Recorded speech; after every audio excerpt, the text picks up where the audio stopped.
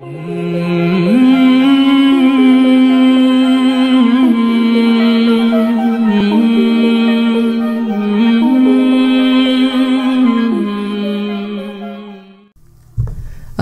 علیکم ورحمۃ اللہ وبرکاتہ۔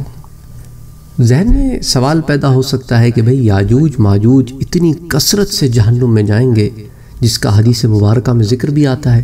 کہ ہزار لوگ جہنم میں جائیں گے تو ان میں سے نو سو ننانوے جو ہیں وہ یاجوج ماجوج میں سے ہوں گے۔ تو اب سوال یہ پیدا ہوتا ہے کہ آیا یاجوج ماجوج کو بھی کبھی اسلام کی دعوت پہنچی؟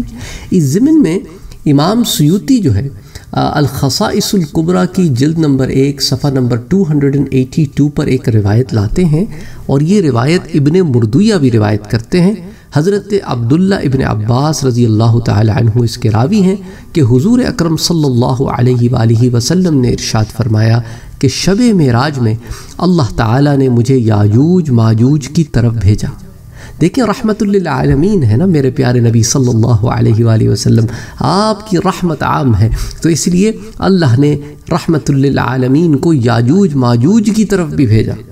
تو حضور نے کیا فرمایا کہ مجھے یاجوج ماجوج کی طرف بھیجا۔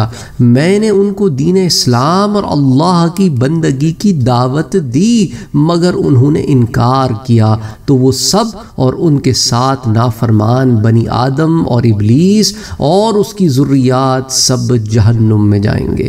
تو اب یہ سوال کا جواب بھی ہمیں یہاں مل جاتا ہے کہ یاجوج ماجوج تک اسلام کی دعوت، دین اسلام کی دعوت، اللہ کی بندگی کی دعوت پہنچی، مگر انہوں نے انکار کیا۔ السلام علیکم ورحمۃ اللہ وبرکاتہ۔ اگر آپ نے ابھی تک ہمارے چینل کو سبسکرائب نہیں کیا ہے، تو سبسکرائب کا بٹن دبائیں، بیل کے آئیکن کو پریس کریں تاکہ آپ کو ریگولر نوٹیفیکیشن اپڈیٹ مل سکے اور آپ ہمیں ہمارے لائیو سیشنز میں بھی جوائن کر سکیں۔ ویڈیو پسند آنے کی صورت میں لائک شیئر اور کمنٹ کرنا نہ بھولیں۔